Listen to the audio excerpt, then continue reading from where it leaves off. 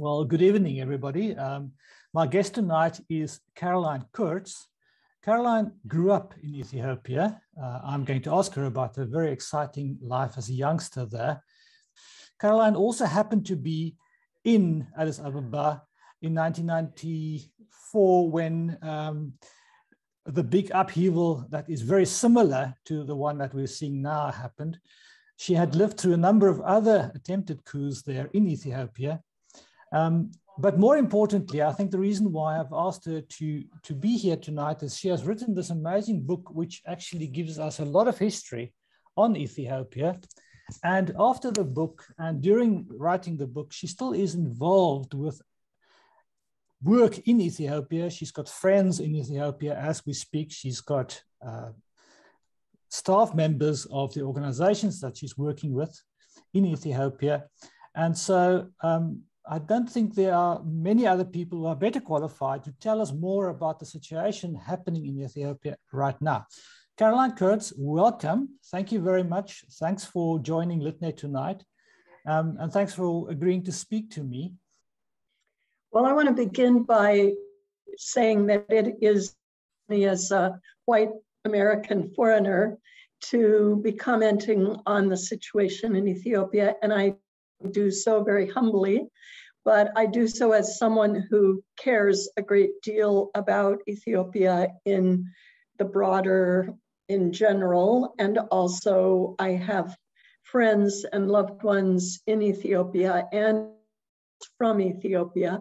So I have a little, what I do offer is a love of history, experiences from a young age in Ethiopia, and a continuing relationship with Ethiopia and Ethiopians. And hopefully, my foreign outsider point of view is is different from an insider and has both advantages and disadvantages. So I will try not to um, assume my advantages are higher than they are, but also not uh, downgrade my uh, my disadvantages as being an outsider. I, I do. So, um, I, sorry, I do just want to say one of the reasons why I can speak to you is you are not in Ethiopia at the moment, and therefore you are safe. Um, it is an advantage, um, but um, you have actually been in Ethiopia during some very turbulent times. Um, but, but do continue, please. I don't. Um, um, I would like to hear well, what you're saying. Yeah. I I am relying on news reports as we all are, but I also have conversations by Skype to phone with friends in Ethiopia or by uh, WhatsApp. And also, I happen to have a friend who came out um, in late October and has delayed her return to Ethiopia, but who usually lives in Ethiopia, whose family is mostly um, still in Ethiopia. So I have conversations with her, and she, of course, is deeply connected with her friends. The, the complexity of the situation, when I read the news reports, the complexity of it escapes, is not covered. I, I get a piece and I go, oh yeah, from one article and another small piece from another. But I fear that most people who are seeing the news, those little bits of complexity um, generally escape them. So um, right now, both uh, American and African leaders are working very hard to try to stop Ethiopia tumbling, from tumbling into a full out civil war. What I don't see reflected in the news, and I hear both from my Ethiopian friends, um, well, mostly from my Ethiopian friends and also just from my basic knowledge, is that the um, the militia from the Tigray province that's marching on the capital and the coalition, which is being announced. You know, they now have a coalition of nine other, basically, these are local militias that are together. They are still a minority, a okay. deep minority in Ethiopia. That is not being reflected in the news. You saw a little bit of that this weekend when there were demonstrations in Addis Ababa. the difference between 1991 when I was there and the Tigray, the TPLF marched on Addis Ababa and took the government, is that the government had become extremely unpopular, extremely unpopular. And um, Mengistu Haile Mariam, the, the um, prime minister, had fled, in fact, a week before. Yeah. And so people were relieved that someone was going to take hold, although there was a lot of um, fear that it was not going to end up well. There was there was anxiety, but it seemed like possibly this is very different. 30 years later, we are 30 years later, uh, the Tigray um, powers, it's the power brokers, it's not the people, but the Tigray power brokers who were in control for 30 years have, have been undermining the new government as soon as they began to lose control. And they have coalesced with extremists from several different ethnic groups who want to secede from Ethiopia or who want to break up Ethiopia in some very radical ways. But even the coalition of nine local militia plus the Tigray is still a deep minority.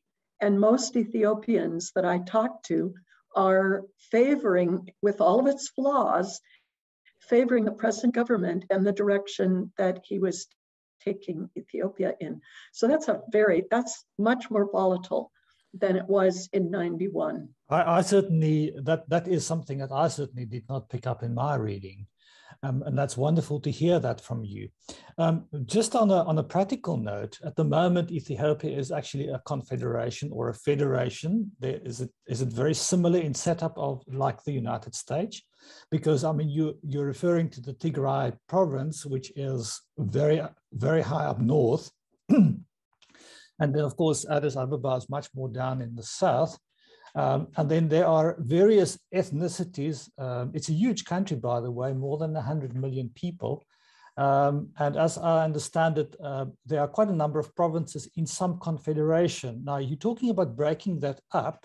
Um, what, what is the situation like? I mean, I understand a little bit from South Africa, a little bit about what's happening in the United States. Is it similar or is it different in, in setup from the United States um, and the federation there?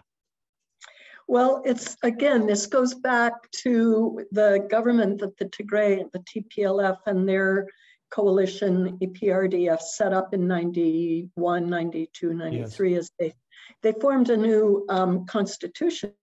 Yes. And and they changed all the states. Like imagine taking the United States or taking South Africa and saying we're erasing all the borders of all the states and we're redrawing them. So they redrew all the state lines in Ethiopia and they redrew them according to historic and traditional territories of ethnic peoples. Oh, okay. So all of the states in Ethiopia, and it's the only country in the world that I know of that's this way, are based on ethnicity. So you have the Tigray People's State, which is Tigray. You have the Amhara People's State, which is Amhara. The Afar People's State.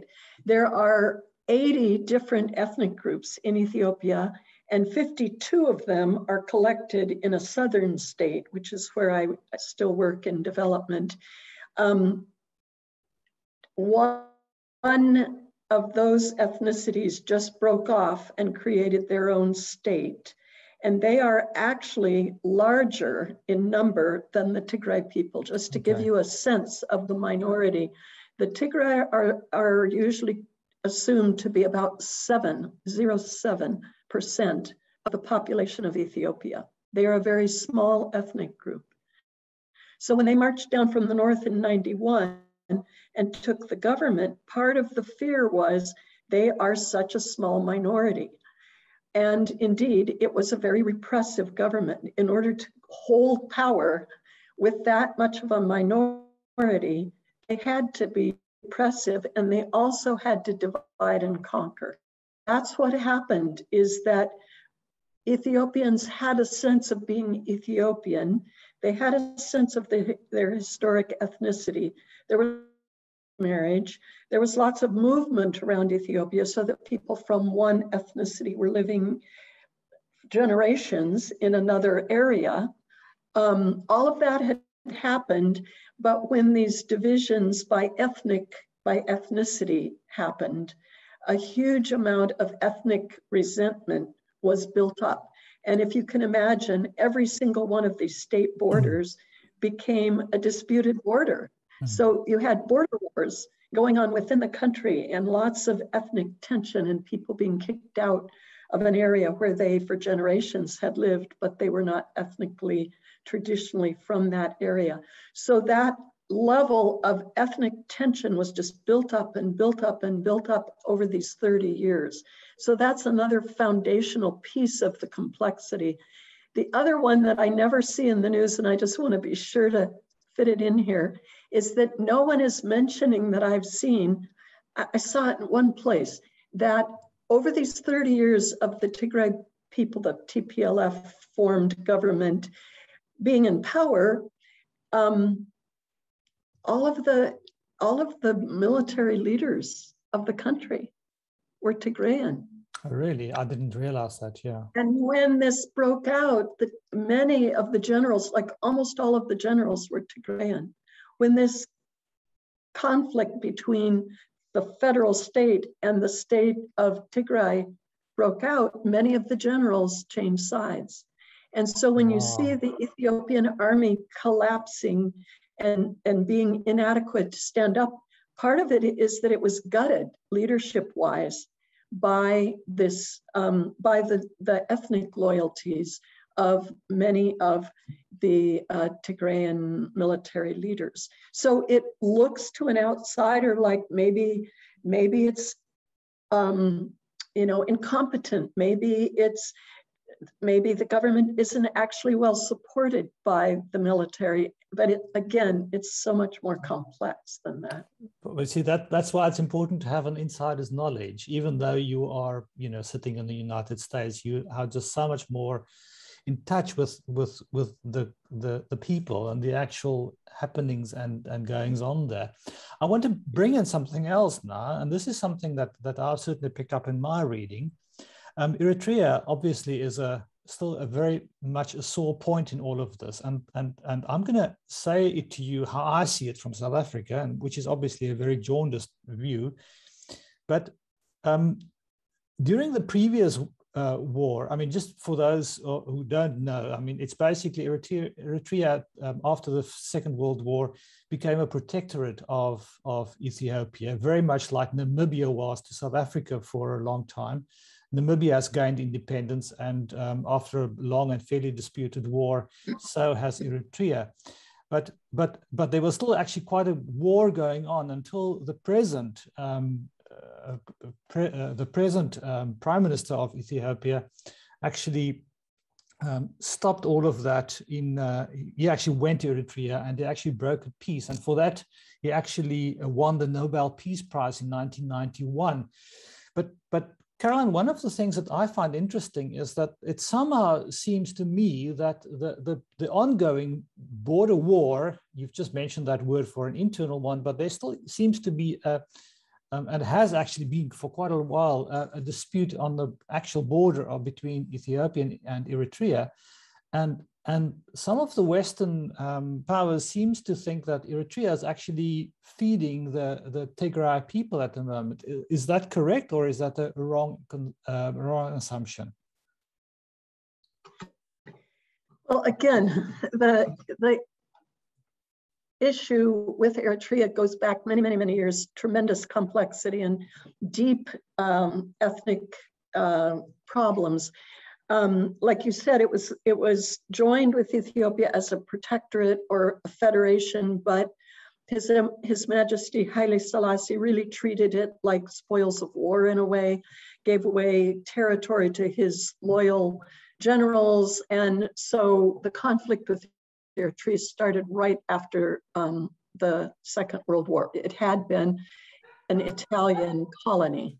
Mm. So uh, Eritrea was a, an Italian colony, it as as a Western colony, it split the Tigrayan people. So there were Eritreans and northern oh, Ethiopians were yes. the same original ethnicity. So you have that. Well, um, Meles Zenawi was the prime minister for most of the years of the Tigrayan um, uh, leadership of Ethiopia. He was a brilliant, um, a brilliant man. He was he got help from Eritrea in training his guerrillas, and they made an agreement that if the TPLF was able to top, topple um, Mengistu's government, they would allow, he would allow um, Eritrea to have its own, um, um, oh, my, my vocabulary is escaping me. Um, they would be able to vote on whether they secede. So it was written into the new constitution that every ethnicity has the power up to and including the power to secede. Okay. So you see some of these extremist groups that are calling for secession, that goes back to that. Well, somehow in in the subsequent years, this agreement, this agreeable relationship between Meles Zenawi and Isaias up in Eritrea fell apart.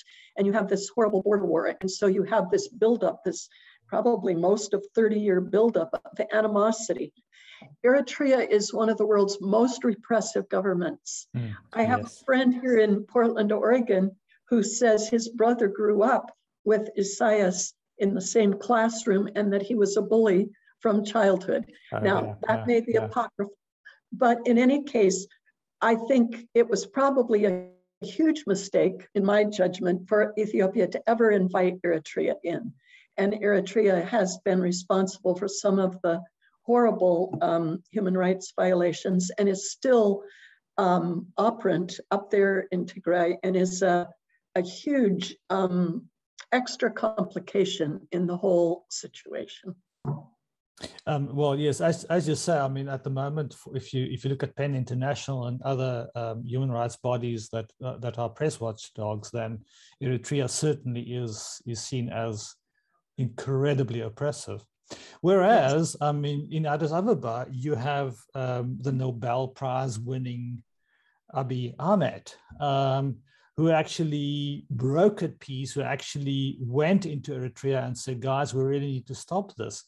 Um, and, and now all of that seems to be falling apart. But again, is that, is, is that really just a small minority, as you say, or is it actually, I, I don't know, is it, is it driven by the Eritrean government? Um, is it, um, I, I, I just I just couldn't quite understand why all of a sudden the flare up again. Um, and I mean, that's this is one of the reasons why I thought somebody with more insight might actually be able to give us, as South Africans, a better a better view of what's happening on the ground. Well, I probably can't speak with as much authority because it's so far north and because yes. where my friends live is mostly I understand that almost to the South Sudan border. Yes. Yes. But I will say that that we just have to never underestimate the level of ethnic bitterness that can grow up in areas. And the ethnic bitterness between Eritrea and Tigray has building up and has built up and built up and built up.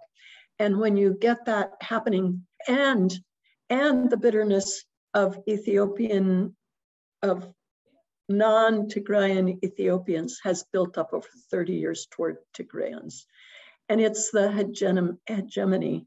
It's the power brokers. This is the power brokers of the Tigray.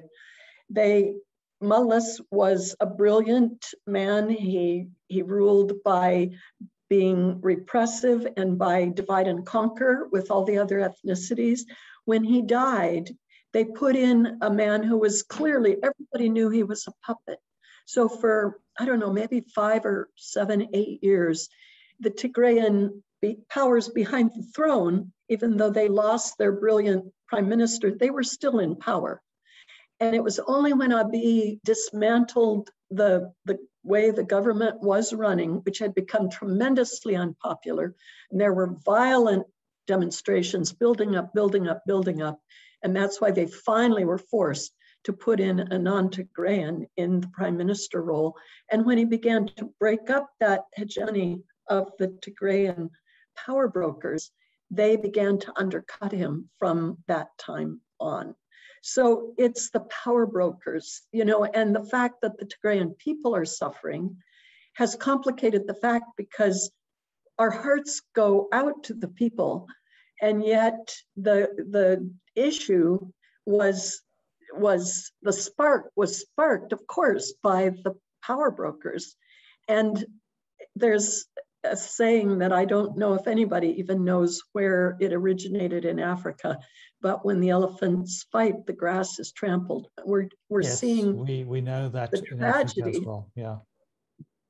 The tragedy of the grass that's being trampled, and we just have to. The my main passion is just not to lose track of the fact that it's the power brokers that are causing this problem. Um, and, and and the West sort of saying that these upstart militias should be should be treated as though they have a legitimate right to power is is really offending Ethiopians. Well, that, that is fascinating because I certainly did not pick that up in my reading, and that, that's why it's so important to hear it from from the ground, so to speak. I, I briefly, uh, I want to actually ask you a little bit about your own background because it is fascinating, and it will give readers or, or listeners some insight into why I'm I'm uh, I'm interviewing you tonight. But just very briefly, about a year ago, um, after a number of uh, attacks on on armed forces, um, it looks like Ahmed actually um, sent in on the 4th of November 2020, actually launched an attack on on some of the well the militia then in in uh, in the Tigray province, and that seems to have sparked and and now bubbled over into what what what seems to be you know small pockets of incredible atrocities happening on the ground. Um, the other issue that that of course the Tigrayan people are very uh, specific about is that in 2020 there was supposed to be a general election. And because of COVID, um, Ahmed said no. And they went ahead and had their own election. And uh, um, that was another dispute.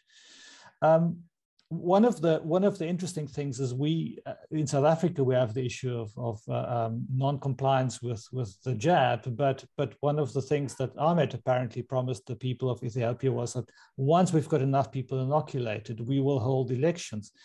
Um, do you know whether it's possible to jab 102, 105, 109 million people, depending on the on who's counting? Um, I'm just I'm just asking, and it could be a it could be a difficult one, but I mean, you are you are a, a, development worker. You must speak to the aid workers. Is there a possibility of actually getting people jabbed? Just that's just something that I was curious about. Enough people jabbed soon enough to hold a free and fair election. Well, the election has been held actually. Okay, so it has now been held. Okay, okay, okay, yeah. It okay. has now been held, um, and and just to comment on the pandemic, I was struck by is when um, when there was a spike in India, and a friend in Ethiopia texted me and said, "I've had one um, shot, I've had one vaccine, but I can't get the second because India was supplying most of the vaccine for Ethiopia, and when India spiked, they began holding their own vaccines and so then there was a shortage of vaccines in Ethiopia. So that to me just was like, wow, global Incredible. pandemic. Incredible. Yeah. yeah. Yeah, yeah, yeah, that is fascinating. So the logistics are not only Ethiopian logistics. Like there, there's actually quite a good um, clinic system, like small clinics and then larger clinics and then hospitals, and it's been um, it's been organized pretty well so that it's possible, seems possible to me that at least the high, and of course the population is deeply concentrated in the mm-hmm. city. And if cities could be could be inoculated, then they keep from spreading it to the country. Yes, yes, okay. Yeah. But, Um, Caroline, I'm I'm I'm quite keen to to actually thank you very much. I I I, I've I've learned so much just by listening to you, but I'm I'm quite keen to to hear a little bit. Ooh, I've got it the wrong way around. Um, I'm quite keen to hear a little bit more about this. Um, this is the book that you wrote. Um, it's a fascinating read. Um, and for South Africans, by the way, it is available. You can order it at Bargain Books or any good bookstore.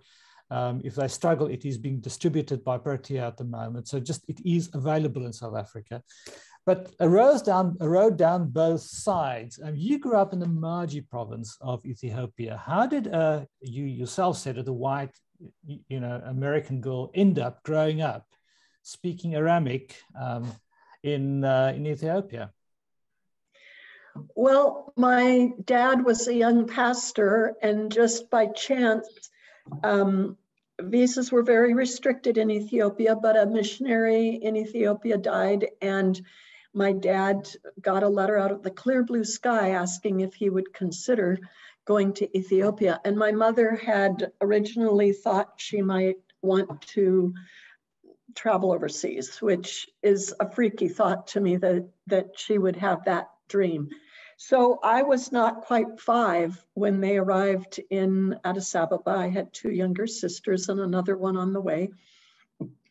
And after language study, we were assigned um, by partly because of my father's quirky personality to the most remote station of the Presbyterian Church in Ethiopia, and that was um, the town of Maji, which is um, very remote. It's maybe as the crow flies, as we say in America, um, maybe only 50 miles from the South Sudan border and very near where Kenya and Sudan and Ethiopia click in. Um, so very, very remote, difficult to get to. My dad was crazy. Why was he taking a wife and four daughters down that far away from, um, you know, medical care or anything else? But it was a, a wonderful, idyllic childhood. I, as you mentioned, I went to my first, um, I, I had my first political kind of awakening um, when I went to boarding school at age 10 in the capital, Addis Ababa, and there was an attempted coup. So I was away from home for that. And um, that, that was Mengistu. That, that was Mengistu Neway, who was a uh, who, who actually tried to overthrow the, His Majesty um, Haile Selassie. Am I correct? Yes. Okay. Yes. So please continue. Yeah. Yeah. So um, I was just. It was just a new thought that occurred to me that that might, in some ways, be the root of my interest in history. And you mentioned that that there's quite a bit of Ethiopian history in my book. Um, over the course of the years that I worked on the book and, and honed my craft, my critique group would say to me, get rid of this history stuff. Just get rid of it. It's we want your story. We don't want the history. And I was just determined. And what I what I had to do was learn to write the history in my own voice so that I didn't shift into social studies teacher voice yes. um, when I was writing the history. And it took me quite a while and quite a lot of revisions, but I was just so stubborn. I felt like my experience in Ethiopia didn't make sense without the history of what was happening in Ethiopia and the history of what had happened in Ethiopia that was feeding the present history. So that's how I ended up becoming a, a history buff and kind of an expert, you know, but I mean, it's it's uh, it's the way you write it, and I mean, this is fascinating. Is you, you you very much concentrate on your childhood at first, and then you say, but this has happened, but only later did I learn this, and then so bit by bit, one actually learns a heck of a lot of the even pre Haile Selassie history. Um, which is fascinating. And I'm not going to go into that. Please buy the book. It's it's available in South Africa, by the way. But I mean, it's I mean it. It actually is a fantastic book. Um, but but and then um, just I mentioned earlier that that I mean it was so remote that um, your way of getting to school was on the C-43. We call them a Dakota here in South Africa. I mean, you often it was you and two pilots flying over miles of, of just nothingness to go to school. I mean, that, that must have been quite something. yeah, you know, looking back and in comparison with kids who are going on a school bus, it's pretty interesting. For me, it was just like, okay, this is what's next. You know, it's just my life. So um, I didn't at the time have a sense of it being unique and strange. Um, looking back, of course, I'm what my parents put up with and thought was okay. And I mean, they, they actually after they parents to today would never do they, but they themselves had to go through quite a bit of hardship, although seemingly they and and I mean I'm I'm quite amazed that I mean your father was a kind of you know gung ho guy. I mean he he was a he was a, a glider pilot in the Second World War. I mean you you can't go more mad than that. But I mean your mother um, seemingly just just was able to cope with all of that, um, although it, it that must have been interesting. Yeah, they were they were very very interesting people. He was a farm kid. He could do mechanical stuff. He was practical. He was also trained as a pastor, um, trained as a pilot. Uh, they ended up pulling him into administration. So he had, you know, those kind of gifts, leadership. He was an orator. He um, would come to the States when we were in the States. He would speak in churches and raise thousands, probably hundreds of thousands of dollars for the work there.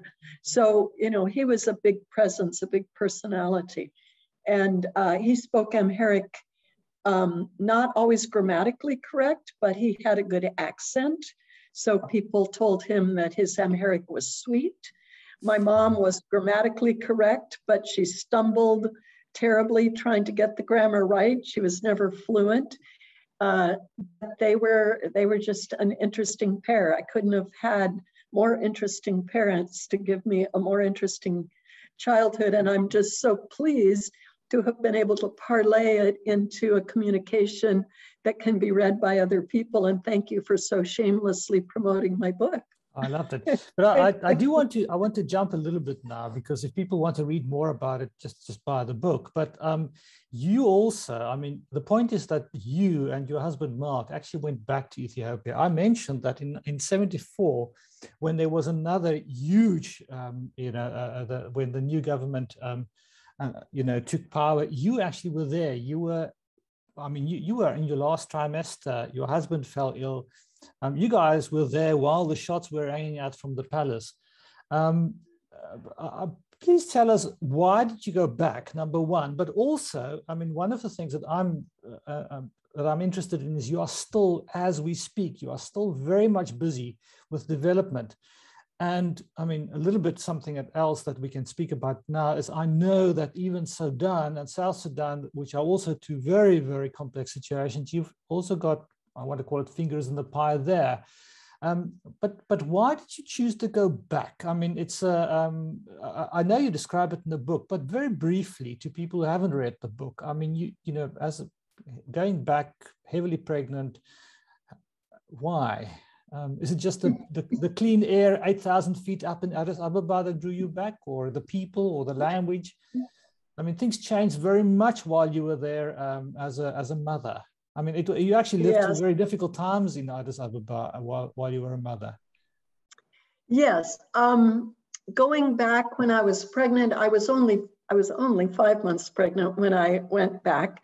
Um, the the they called it a creeping coup. The what what became the communist takeover kind of began slowly in 74 but it was building up into violent power struggles by 77, um, foreigners were not being having their visas renewed. It was quite clear that folks were not going to be able to continue.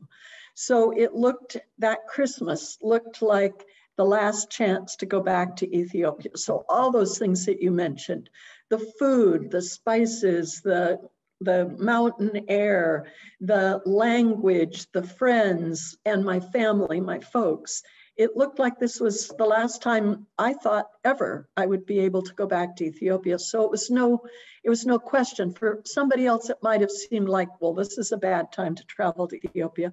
For me, it, you know, when you grow up in a country, you don't feel nervous about it in the same way that someone who's unfamiliar would. So it just was not a question. And then my husband got hepatitis and was mm. very sick. Mm. So we ended up having to stay and, and having my daughter in Ethiopia. Um, but then the dream of going back to work was really a deeply buried one. I just didn't ever think it would be possible. And again, like my father, out of the clear blue sky, being invited to go to Ethiopia, it felt like the same thing happened. My brother had gone over to teach English. When he was leaving, they asked, Do you know anybody who might be interested? And he said, Call my sister. so, yeah. even at the time, I thought, boy, it's unlikely they'll let me go back. My brother's there. We were going to overlap for six months. My dad was there. Everybody remembers him. Are they going to really let me go back into this family situation that could be complicated? And it just to me was a huge gift that they did. So I went back and, and taught for six years. And then, as you're mentioning, they transferred us into, we lived in Nairobi only because South Sudan was so deeply embroiled in their civil war. But I did a huge amount of traveling and development work back and forth in South Sudan, which is the, the subject of my second book, which is coming out in April. And I hope that um, it's going to be distributed in South Africa well, as would you well. do another interview with me on that one? I would, I would love to. Yes, I definitely. Must read it first. Yes, yes. But yes, but so yes. But but so I, I, I, can we talk can we talk briefly about the development work because as I say it's, it's ongoing. Um, I mean I'd you don't have to, to don't, don't give away your book now, but it's just that what what exactly are you are you doing? Because I mean one of the reasons why I contacted you is this is not just you know something that has happened and it's gone. You you know you while you are speaking to me from the United States, you actually are still actively involved in in your in your roots um, where you grew up. Um, so what, what, exactly are you doing um, in? Yes, in fact, I squeezed a Skype to phone call in with an Ethiopian engineer before I got on with you, because there's a new um, possibility of us raising money to get clean water to rural communities of about 2,000 people. So I my love of my my sweet memories of growing up in this very remote area, they have stuck with all of us, my, my siblings and myself. There was this idyllicness, I don't know if that's a word, in the um, in in our early years in Maji. So when when I was there working in Addis Ababa, when things when the communist regime fell apart enough and the rural areas began to open up, one of the first things I wanted to do was go back to Maji. And I then began going back and um, brokering development projects with churches in the United States and churches in parts of Ethiopia, including Maji. So because I kept showing up, eventually over a number of years, four years ago, I just began to believe that I wanted to start a nonprofit organization specifically for development in this rural area. The whole district of about 34,000 people has no nonprofit, no nonprofit organizations work there. Oh. So I'm the only one. So so the need was so clear and the possibility that all my years of working among Presbyterians and churches who are very generous that I could possibly raise money to do development specifically there just began to take root. And through the generosity, mostly Presbyterians uh, here in the United States, I have been able to do what I think is outsized work for such a young organization. Um, but we've um, we've brought solar energy. It's off the grid. There, the grid does, the Ethiopian grid doesn't extend that far. So solar home systems for families. We got a solar, um, a huge 33.6 kilogram, kilowatt hour system put on the hospital, wow. which serves 60,000 people. It was just operating as a day clinic because they had no power. And, but people were so generous and we were able to get that done uh, during COVID. And now um, looking at some water projects, the global um, supply chain issues are affecting me and, mm-hmm. and that development work as well. So we're looking to harness and empower local energy and local materials for the benefit of people while we can't get anything imported. So it's just it's just my heart. It's just my passion. Um, I get to use Amharic both Skype phone and when I was able to travel, um, meeting with officials, meeting with community members, um, just being there, being with the Ethiopian people has has been just a huge joy. But, I mean, that's that's kind of the point is that you you are you, you speak the language, you walk the walk. You you know you it's it is your roots as well, and that to me is actually one of the amazing things about your story. Um, mentioning yeah. water, there's a there's a in this book there's a fascinating story about your father putting up a, a pump because you lived very high up on the hill. And I mean, you, you've just mentioned that, that he was a very good mechanic and he actually put up this incredible. So, I mean, you're actually following in dad's footsteps as well, being slightly crazy and doing weird, wonderful things. Do you agree? what can I say? I have to tell you a funny story about the language thing. Um, and so, so I replaced the pump my organization replaced the pump in the town. Townspeople suddenly were without clean water and they came to me. So, you know, I do this development work because people come to me with an issue. So when they were putting the new pump in, I was invited into town for uh, what I discovered was a little feast in a hole in the wall restaurant, which is the only kind there is. And all the town leaders had been invited to thank me. And um, so the Ethiopian Orthodox priest stood up and he said, I was told that a daughter of Maji had come back and had gotten uh, the pump and it was being replaced and would I come to help thank her? And I was very glad not realize until I walked in that she was white. Oh wow, yeah. Nobody yeah, they had yeah. told me a daughter of Maji, but hadn't explained that I was white. Well, these speeches were going on and I knew that my turn was going to come. So I said to my solar partner, who speaks very good English, I said, um, translate for me. And he said, well, yes, but you have to greet people in Amharic first because my Amharic is broken, you know. So I greeted people and then I said, so that you don't have to listen to my broken Amharic, Jonas will translate for me. Mm-hmm. And everybody just burst out no, no, no, no. We love your broken Amharic. Oh, well, that's amazing. Yeah, yeah, yeah. Oh, so brilliant. I spoke in my broken Amharic to thank them, the collaboration and for the love that we we share yeah. there in Maji. Wow. Caroline Kurtz, this was wonderful speaking to you. Um, and I this last bit actually just explains to everybody why I thought of you to explain the situation in Ethiopia thank you. Thank you for being who you are. Thank you for writing this wonderful book. And thank you for the work that you're doing. Um, now that you've mentioned the second book, I will look out for it. And hopefully, in a few months from now, we could have another chat. Go well. That would be wonderful. And thank you so much for this interview. I appreciate you, it.